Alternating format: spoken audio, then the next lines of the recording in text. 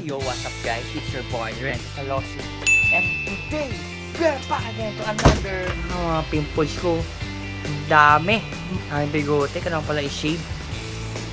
Oh?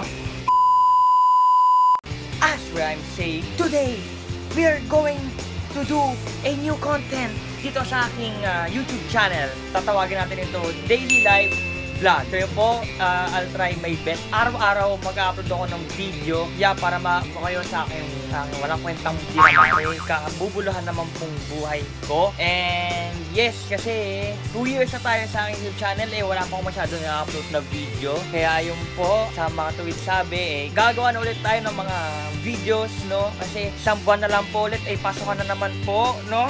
Bilis ng bakasyon, hindi ko ramdam na isang buwan. Yan po. So, ayan, nakita mo yung sa likod. Ah, okay, poster. Okay, 20. Let's go! Habang po natin. Sa hindi ko pa nabubuksan ang PlayStation. So, ayan po, no? Nakakangawit sa kamay. Sakit ang kamay ko. So, ayan po, shoutout po sa lahat ng mga nanonood sa channel na yun, sa video nito. Kung bago ka dito, mag-subscribe ka na at hit the bell button para kayo ay palaging updated sa aking mga na-upload ko mga videos. So, yeah.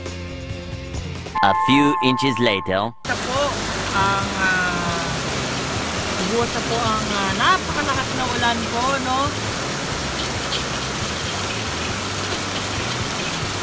A few moments later. So guys, wala akong magawa na yon kaya maglalaro na lang ako na, na laro na tinatawag na City Skylines. Ito po ay laro sa computer na available available po ito sa Steam. Ayun po, medyo milig po ako sa mga gumawa ng mga city-city paano mag-ano ng mga daan kung paano mag-ano ng mga kung paano magpatakbo ang isang city. Ayan po, yan lang po yung aking gagawin. Ayan po, kita nyo naman po. Ayan po siya. Ayan, ganyan po siya. Mamaya guys, papakita ko sa inyo ang aking ginawang city. So, ayun lang po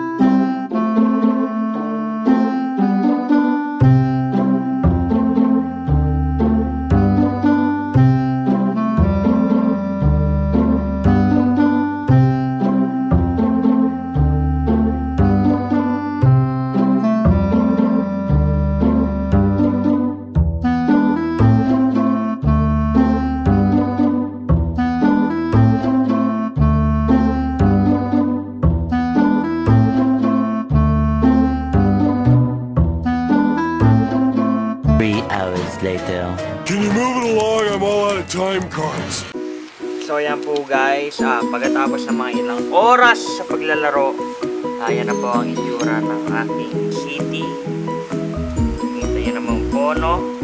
Ah, medyo, ha, sige po, yan po ang itsura ng aking lungsod. Kaloshing City.